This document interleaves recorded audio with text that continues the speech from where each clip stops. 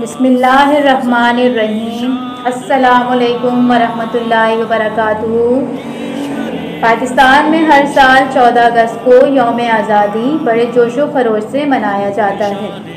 आज से चौहत्तर साल पहले 14 अगस्त उन्नीस को क्या हुआ था? 14 अगस्त उन्नीस को हमारा प्यारा वतन पाकिस्तान आज़ाद हुआ था। इसलिए हम हर साल ये दिन मनाते हैं। ये मुल्क पाकिस्तान हमने बड़ी कोशिशों और कुर्बानियों से हासिल किया है। लाखों लोगों ने अपनी जानें गंवाई।